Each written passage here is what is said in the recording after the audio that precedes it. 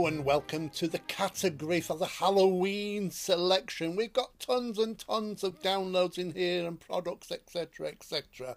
Fantastic value for money. And the great thing is, all of the products and that the downloads come with videos teaching lots of techniques on how to use the templates, um, all sorts of kind of ideas, galleries, etc., giving you lots of inspiration of having your fantastic Halloween. So, how do they get them, Barry?